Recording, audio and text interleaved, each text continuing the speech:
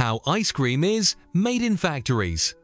Did you know it takes over 50 steps and less than 30 minutes to turn milk into the ice cream you love? Or that a single factory can produce over a million scoops a day?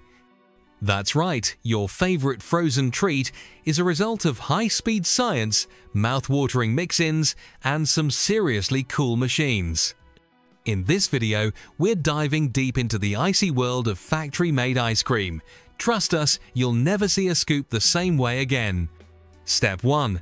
It all starts with milk and cream. Ice cream begins its life on a dairy farm, where cows munch on grass and produce fresh milk. This milk is collected and sent to factories in big insulated trucks. To make ice cream, we need both milk and cream. Milk gives ice cream its body, and cream adds that rich, smooth, melt-in-your-mouth texture we all crave.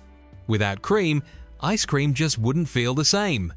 Once it reaches the factory, the milk is pasteurized. That means it's heated up to kill any harmful bacteria, keeping it safe to eat. After that, it goes through homogenization, a process that breaks down fat into tiny droplets. This makes sure your ice cream is silky, not grainy. Sometimes, factories also use plant-based alternatives like almond, soy, or oat milk for people who prefer dairy-free options. Whether it's classic dairy or a non-dairy base, this is where the delicious journey truly begins. Step 2. Mixing the base. Now comes the fun part mixing up the ice cream base. This mixture includes the pasteurized milk and cream along with sugar for sweetness and a dash of stabilizers and emulsifiers. These help the ingredients mix properly and stop ice crystals from forming later. Without them, ice cream would turn icy and roughened, that creamy smoothness would be gone. At this stage, factories also add flavoring depending on what they're making. If it's vanilla, they add vanilla extract. For chocolate, in goes the cocoa. This base is carefully blended in large tanks until it becomes a smooth, thick liquid.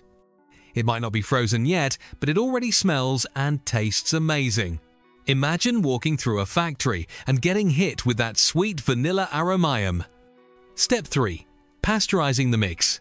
Even though the milk was already pasteurized earlier, the full ice cream base gets pasteurized again after everything is mixed.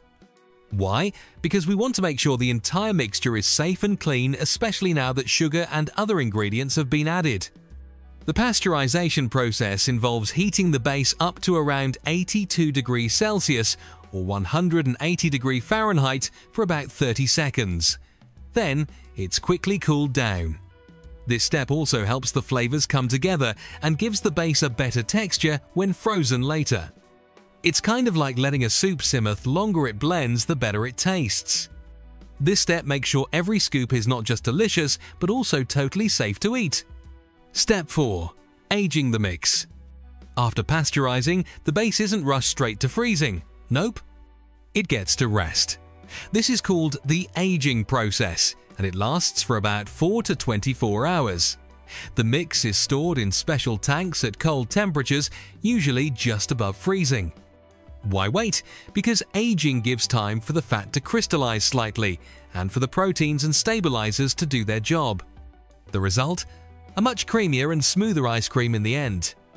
Factories that skip this step often produce ice cream that's not quite as rich or velvety. This might be one of the most underrated steps, but it's a total game changer for taste and texture. Step 5. Churning and freezing. This is where the real magic begins. The aged ice cream base is poured into giant machines called continuous freezers.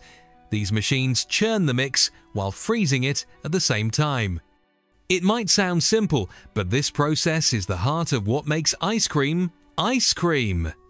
While the mixture freezes, air is whipped into it. This is called overrun. Without air, ice cream would be dense like frozen butter. With too much air, it turns foamy and bland. Getting just the right amount of air makes the texture fluffy, light, and spoonable straight from the tub. That perfect scoop we all dream of? It's all thanks to the balance of churning, freezing, and aerating at just the right speed. Step 6. Adding flavors and mix. Ins. At this stage, the ice cream has a soft, creamy texture like soft serve. It's the perfect time to add flavors and mix-ins. If the ice cream is chocolate chip, this is when chocolate chunks are tossed in. For cookies and cream, in go the crushed cookies. Strawberry ripple? Swirls of strawberry sauce are gently folded in. Factories use special machines that gently stir in these goodies without breaking them up too much. This way, you get big chunks of brownie or whole cookie bits in every bite. Some factories even create fancy flavors like birthday cake with frosting swirls or salted caramel with real fudge pieces. These mix-ins not only add texture, but also turn basic ice cream into a dessert adventure. Step 7. Filling and packaging. Once the mix-ins are added, the ice cream is ready to be packed.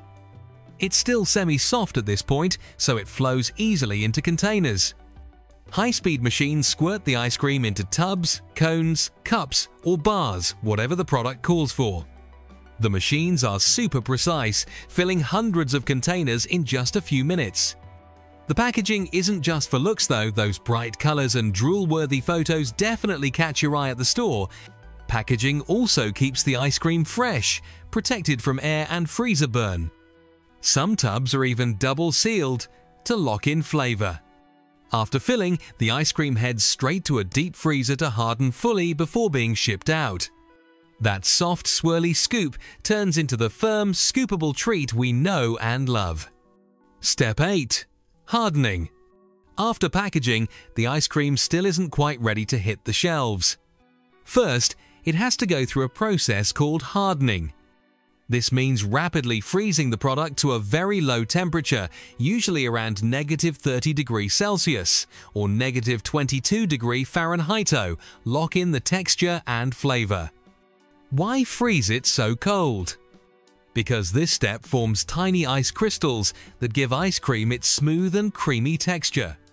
The faster the ice cream is frozen, the smaller the crystals. If this step is done slowly, you'll end up with grainy, icy dessert. No one wants that. Quick freezing ensures every bite is perfectly smooth, rich and dreamy. Step 9. Quality Control Before any ice cream leaves the factory, it goes through strict quality checks. Workers and food scientists test random samples to make sure everything tastes just right and meets health standards. They check the texture, flavor temperature, and even the amount of air inside. There are also checks for safety like, making sure no foreign objects got into the product. If something isn't up to standard Devon, just a bad seal or wrong label it's pulled from the line, Ice cream factories take quality very seriously because they know people expect that perfect scoop every single time. Step 10. Shipping and Distribution once it passes inspection, the ice cream is loaded onto refrigerated trucks. These trucks are kept at freezing temperatures the whole time, so the ice cream stays rock solid during the journey. From the factory, it heads to grocery stores, ice cream parlors, restaurants and sometimes even direct to your door. Ever wonder how ice cream shows up in your store freezer, still in perfect condition? That's because of a super efficient cold chain system the ice cream never gets the chance to melt and refreeze because that would ruin the texture. Thanks to careful handling, it arrives just as perfect as it was when it left the factory. Step 11. Final presentation. Ice cream doesn't just taste good, it looks good too. Whether it's scooped into a crispy cone, swirled into a sundae, or served in a waffle bowl presentation is key. Toppings like sprinkles, sauces, whipped cream, and cherries make it even more tempting. Factories that make ready-to-eat ice cream treats like bars and cones often add these toppings right in the packaging step. That chocolate shell around your ice cream bar? It was drizzled on before the bar even hit the freezer. Every detail from the mix-ins to the topping to the swirlis plan to make you say yum before you even take a bite. So there you have it, the full, creamy, dreamy journey of how ice cream is made in factories. From fresh milk on the farm to that perfectly packaged tub in your freezer, each step is carefully crafted to create the ultimate frozen treat. It's not just about freezing milk and sugar, it's a delicate balance of science, precision, flavor, and fun. The next time you enjoy a scoop of your favorite flavor, whether it's classic vanilla, gooey cookie dough, or something wild like mango chili, remember all the incredible work that went into making it. From churning machines to flavor scientists, Sit takes a lot of passion and expertise to make ice cream this good. So go ahead, grab that spoon. You're not just eating dessert, you're enjoying a masterpiece that started with a cow and ended up as the sweetest part of your day.